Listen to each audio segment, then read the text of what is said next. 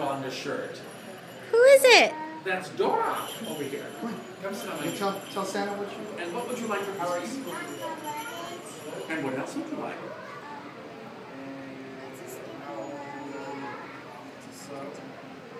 Yeah. Anything else?